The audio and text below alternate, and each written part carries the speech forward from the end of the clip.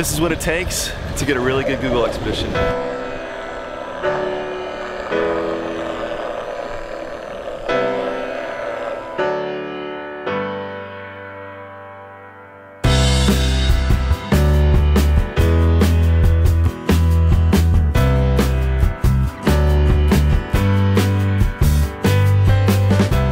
So I'm sure you guys have seen the 360 degree videos now that you can get on YouTube and Facebook where you can actually move your phone and look all the way around. Well, we want to do that but with the deep ocean.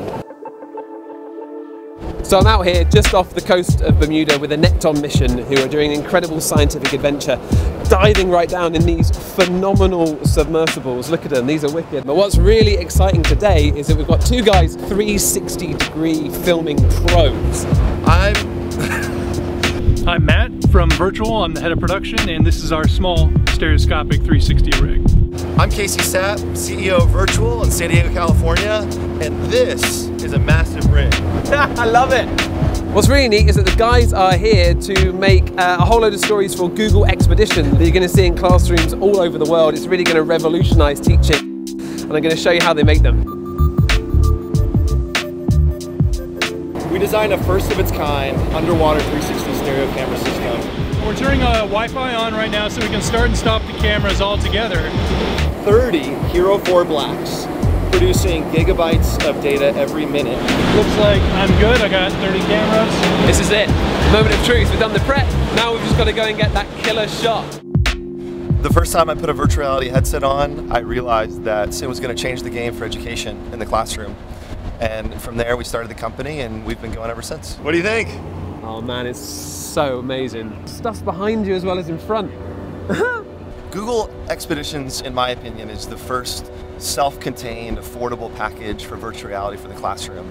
And they've taken all the hard considerations of being able to, to go into a classroom with maybe very little Wi-Fi, create a very quality experience, and take kids all over the world. Some who don't have the ability or the access to, to travel.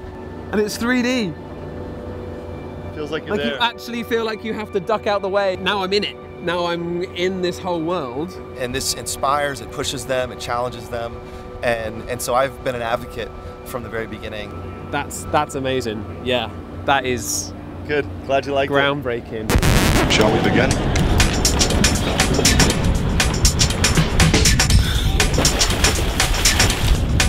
Let's begin. All right, timing it, Greg. Okay, Dad? Yep. Okay, camera's going in the water. 15, 12. Go, you're clear. Uh, I'm 100 feet away.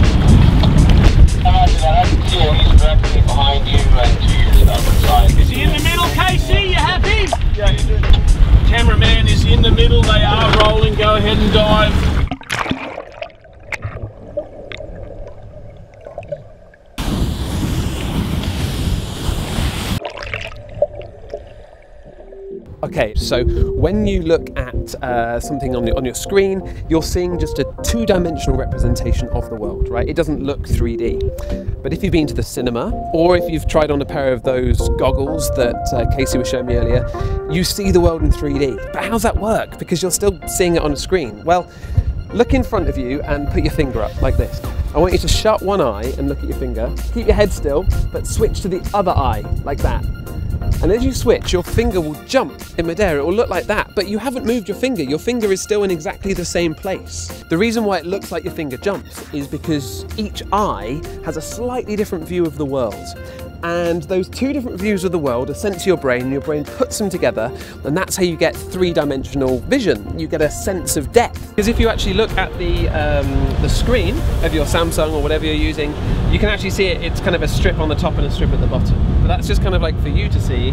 What actually happens is the software sends one of those sections to that eye and the equivalent section to the other eye. So That's it right. knows kind of where you're looking. That's right, absolutely, yeah. And you need to have about two and a half inches between these two lenses so it mimics the distance between your eyes. Without that separation, you don't get a 3D effect.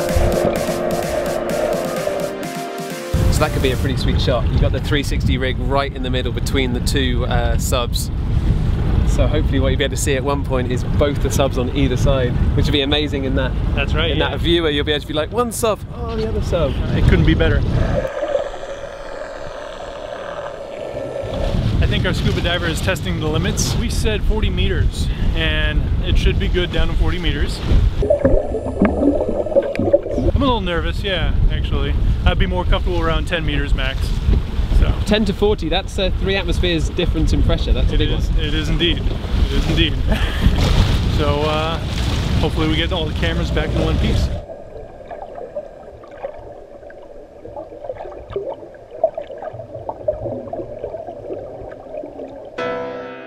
Graham has just uh, surfaced again with that massive rig of 30 GoPros. Graham's an all-star.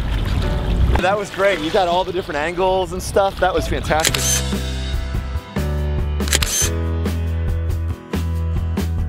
Funny shot. How many times do you get to get in the water with like two million quid's worth of uh, kit? That's awesome.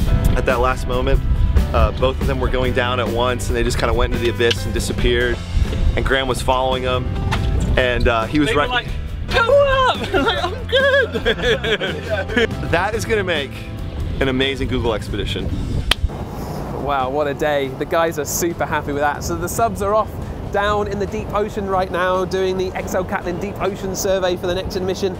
The boys are in there right now, Casey and Matt, they're plugging in all those GoPros, they're getting all that footage, they're starting the stitch. If you've come here because you want to know how Google Expeditions works, or indeed because you've been in class and looking at our stuff, that is how it's made. Thanks so much guys, see you soon.